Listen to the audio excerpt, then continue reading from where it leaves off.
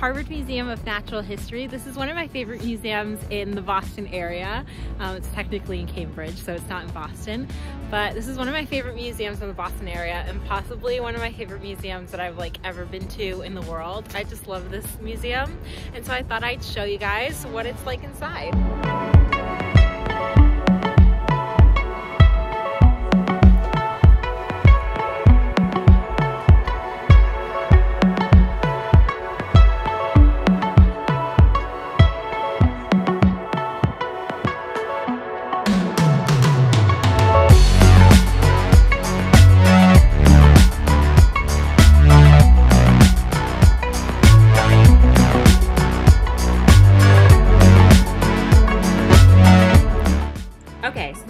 Starts off with the Glass Flowers exhibit, which is a pretty popular and well known exhibit.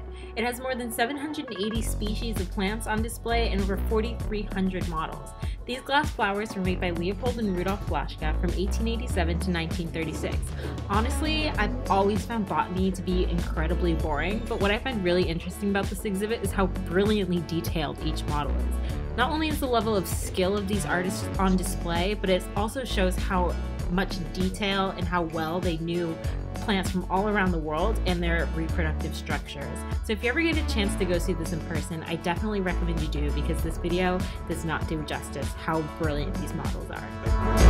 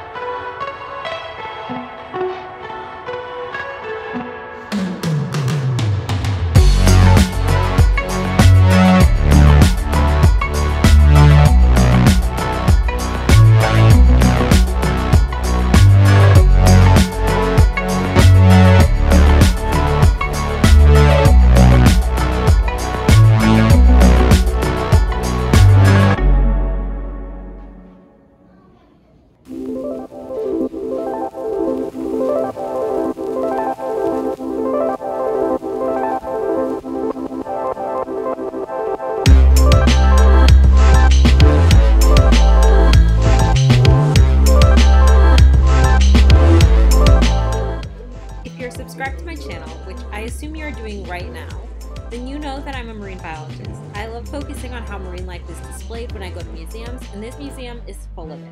So first we have the Lily Simonson exhibit, which is relatively new. These are gorgeous neon paintings of life in the deep sea, and once again, the camera doesn't do it justice, so if you get the chance to come to this museum, make sure you check out this exhibit.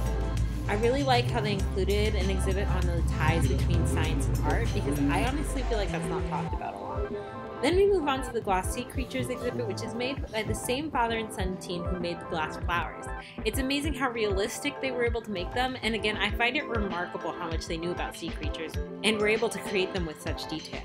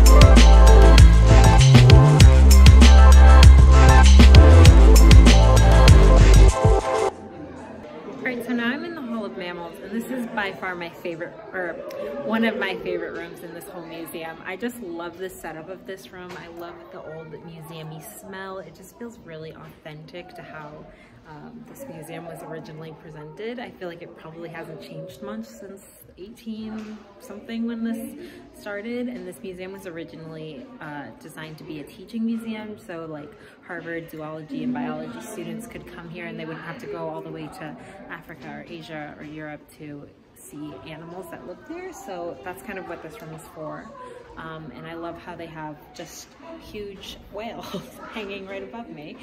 Um, so yeah, this is like by far one of my favorite rooms. It's very, very authentic natural history museum in my opinion.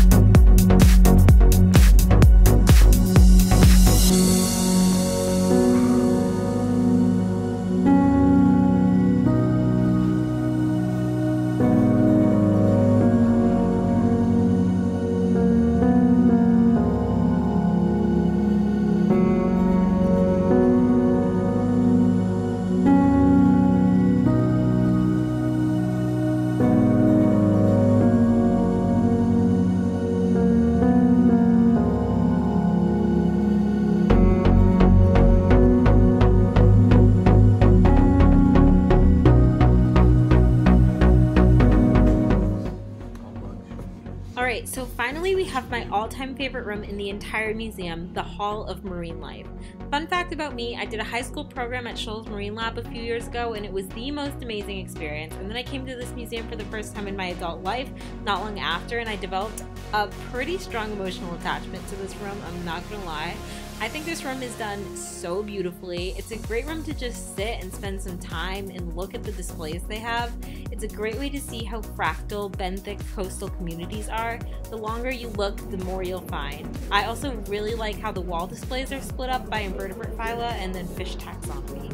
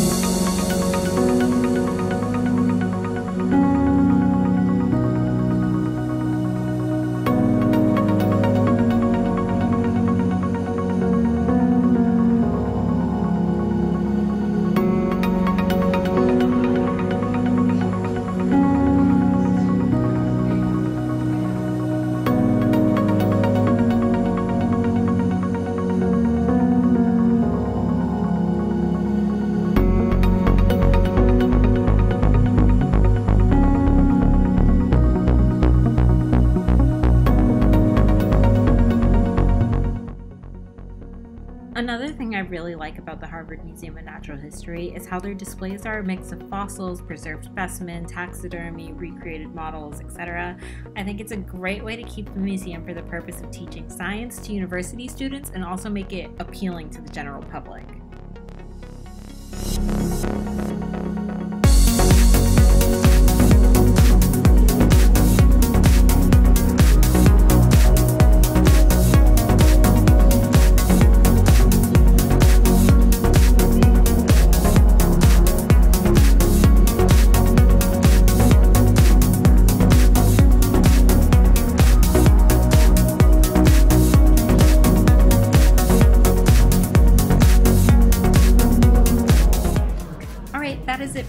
Video. Thank you so much for watching. If you enjoyed it, please like this video, give it a comment down below, and subscribe to my channel. I make new videos every Monday about marine biology, environmental science, college, lifestyle, stuff like that. So if that's something you enjoy, please subscribe.